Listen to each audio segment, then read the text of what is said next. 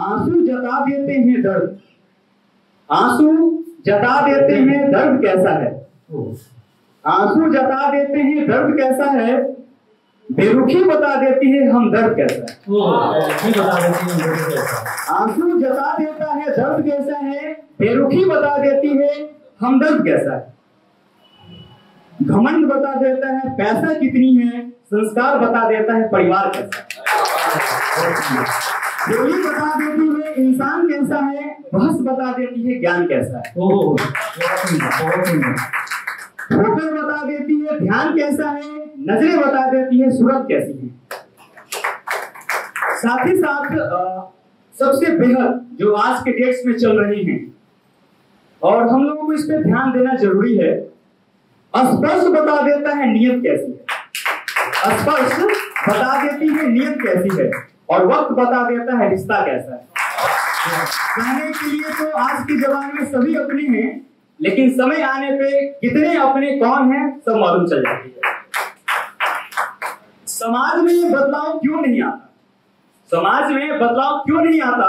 क्योंकि गरीब में हिम्मत नहीं, मध्यम में फुर्सत नहीं और बड़ों की ज़रूरत नहीं। तीन वर्ग के ही लोग हमारे समाज में होते हैं। गरीब, मध्यम और उच्च। तो गरीब में हिम्मत नहीं होती, मध्यम में फुर्सत नहीं होती और अमीर में अमीरों लोगों की ज़रूरत नहीं होती है। सुबह की चाय और बड़ों की राय हमेशा ज़रूरी है। जो लोग चाय पीते हैं, उन लोगों के लिए सुबह की चाय ना मिले तो उनको लगेगा कि ऐसा मुझे कुछ मिला ही नहीं। और बड़ों की समय दर समय राय भी लेती रहनी चाहिए। हमारे समझ से, जहाँ तक हमारी समझ आज तक डेवलप हुई है। समय समय पर लेती रहनी चाहिए। पानी के बिना नदी बेकार है, अतिथि के बिना आँगन बेकार है। शायद आप लोग आज नहीं आते तो ये आँगन आज तक अधूरी अधूरी सी थी। प्रेम न हो तो सगे संबंधी बेकार है, पैसा न हो तो पॉकेट बेकार है। पॉकेट अगर हो, मैं अगर ब्लेजर पहना हूँ और इसमें छह पॉकेट है और छह पॉकेट में एक ही पॉकेट पैसा ना हो तो पॉकेट बेकार ही सा है।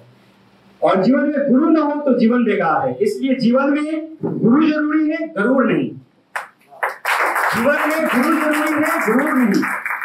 जीवन में किसी को रुलाकर हवन भी करवा लोगे ना, जीवन में किसी को रुलाकर हवन भी करवा लोगे तो कोई फ़ायदा नहीं होने वाला उस हवन का। और अगर रोज किसी एक आदमी को भी हंसा दिया तो मेरे दोस्त, हमें नहीं लगता है कि आपको अगरबत्ती भी जलाने की ज़रूरत पड़ेगी।